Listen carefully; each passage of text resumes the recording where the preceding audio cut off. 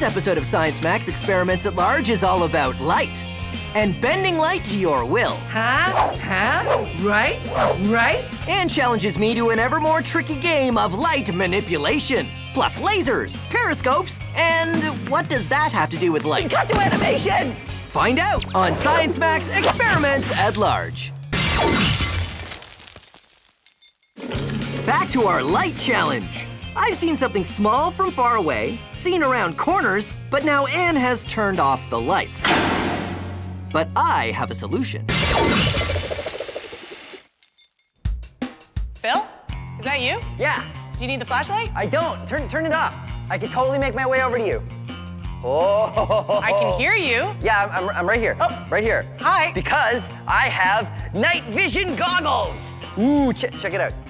Oh, cool. Pretty cool, right? That's awesome. So here's the spectrum again, and here's visible light. My night vision goggles use infrared, this part of the spectrum here with wavelengths just a little bit longer than the red we can see.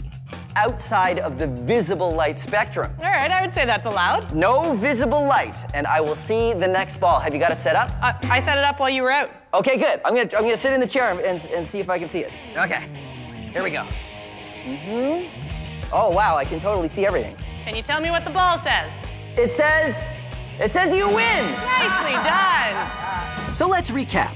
This challenge is the same as the last challenge. The light from the ball was magnified by the lens, sent around a corner by reflecting it off a mirror, and flipped back around by using another mirror.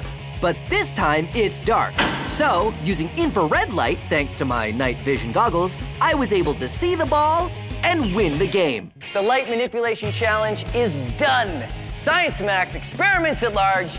Time to turn the lights back on. Yep, absolutely.